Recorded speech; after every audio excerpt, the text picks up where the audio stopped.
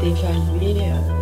inflammatoire, c'est-à-dire une fois qu'il a Quand on pousse le, le chariot de défibrillation, coronavirus uh, is